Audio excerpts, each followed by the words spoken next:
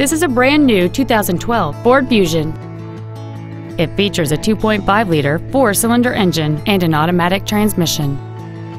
All of the following features are included. A low tire pressure indicator, traction control and stability control systems, cruise control, a CD player which can read MP3s, performance tires, a passenger side vanity mirror, an engine immobilizer theft deterrent system, rear curtain airbags, air conditioning with automatic climate control, and aluminum wheels.